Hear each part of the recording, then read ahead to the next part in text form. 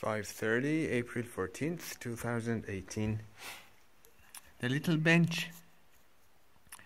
Uh, I added this other piece of wood to serve as a uh, I don't know as a piece to lean back against it. And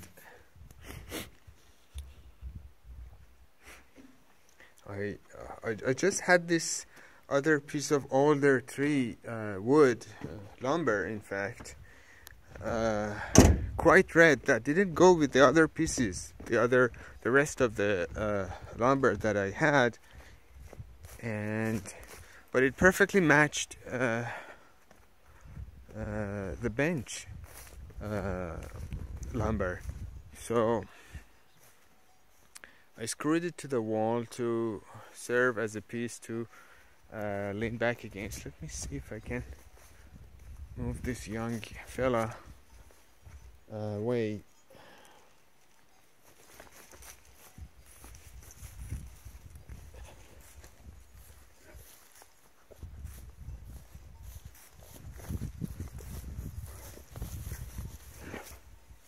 Yeah. So.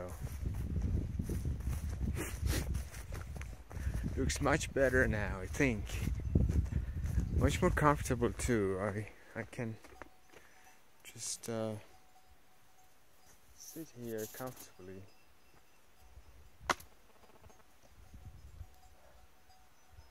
And my back is not going to be leaned up against the you know the rough uh, rocks stones in the wall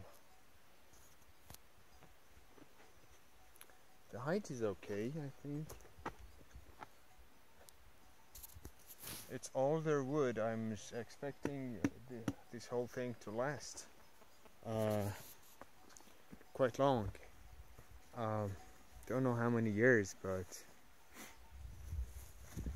I think in a few years you could sit there underneath the walnut tree, enjoy the shade, and this uh, blackberry is going to definitely going to grow all the way up to that part. And you can pick your blackberries and enjoy the view and everything. Uh, thank you for watching